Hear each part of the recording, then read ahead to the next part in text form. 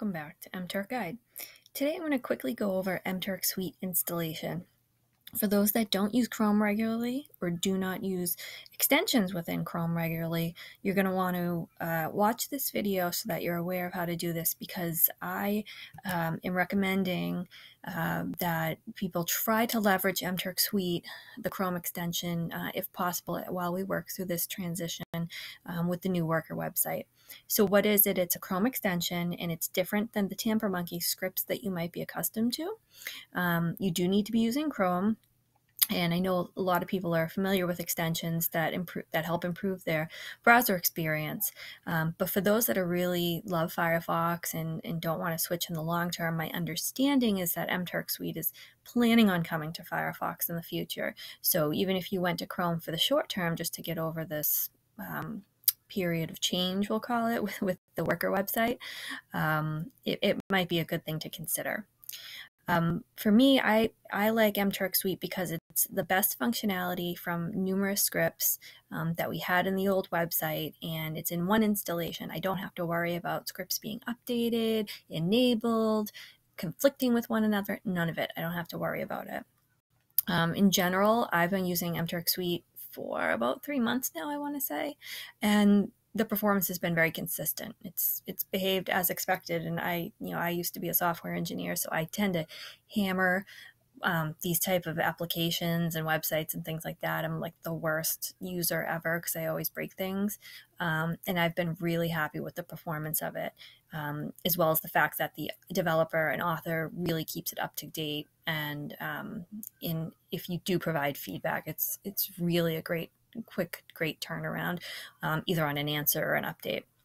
Um, the best part of MTurk Suite in my mind is the pick, picking and choosing of functionality uh, just via click boxes. So, you know, you don't have to have everything. You can just have the few things that you really liked um, that you had in the old system, or you can try new things. It's really customizable to your experience. So, for all those reasons, you should consider it. Um, if you have Chrome and you use Chrome, definitely download it um, and take a peek at it. So what I'm going to do is I'm doing this quick video, which is just going to be strict installation.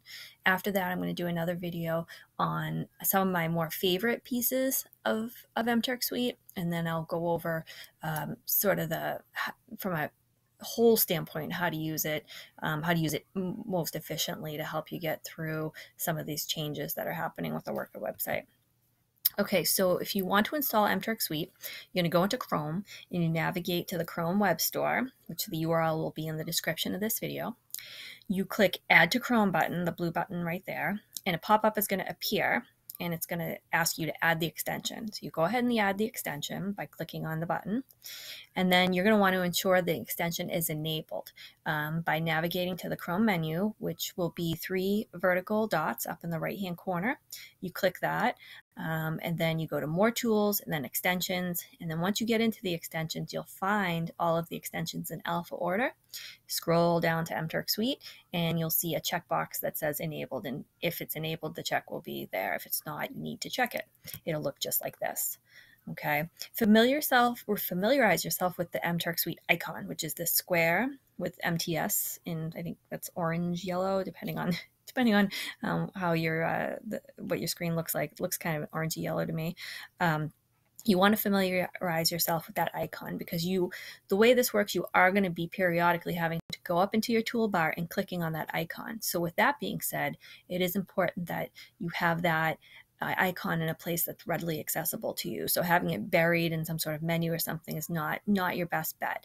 And generally, you can right usually when you install it, it pops right up on your toolbar. But if you have sort of if you've customized what's on your toolbar, you might have to find it, right click, and then um, kind of dock it up into your toolbar. If people are struggling with that, please let me know. I can I can definitely do a video on it. But um, if you do find yourself in the need to disable it, all you have to do is go back into the Chrome menu, like I just discussed, through the extension, the more tools extensions, and then you just hit the checkbox next to enabled. If there's no check in that box, it's disabled. Um, if you and then you, if you were to go back into MTurk from there, you just need to refresh your browser. Um, if you wanted to delete it for some reason, which you could, however, if you do, you lose you lose any data you've saved in there, not not MTurk data, but if you have like a block list or something of requesters you don't want to see their hits, that type of stuff will get deleted unless you save it. So think just think before you delete. Disabling is much better. It leaves you a lot more options. But if you do need to delete it for some reason you just go back again through the more tools extensions. You get back to mturk suite line item and you hit the little garbage can to the right and the extension will no longer exist in your browser. And at that point, if you do need to put it back uh, onto your, uh, if you want to put it back, you can just go through the process of installing it again. And that's that's the basics of installation. I know this is a quick video, and it's really just meant for somebody who's not familiar with with the Chrome extensions. Um, so I'm going to be doing a bunch of smaller, shorter videos. It's partly me trying to find time to do this in the middle of updating all the other videos that I have out there. And um, hopefully, everybody's learning to Turk in this new system and everybody's busy. I want to make sure that everybody um, can find what they're looking for. So it, instead of doing longer videos, I really just need to cut it down into into more um, bite-sized pieces for everybody more are coming.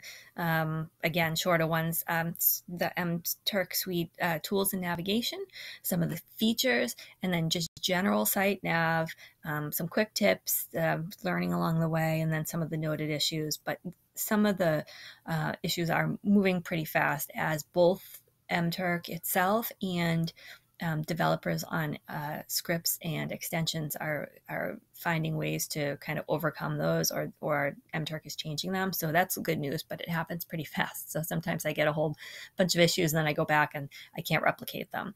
Um, so I'm kind of holding that one aside. But if you have issues that you've come across, you should let me know about them, and I can try to recreate them in my system um, as well, or um, try to help you find a workaround. So as always, always, please subscribe and comment. Let me know what you need for videos. I already have a few in queue that were asked about from my previous video. Um, so I'm getting those out.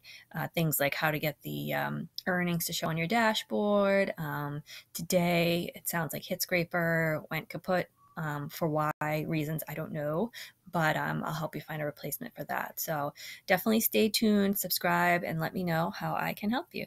Thanks so much, everybody. Happy turking.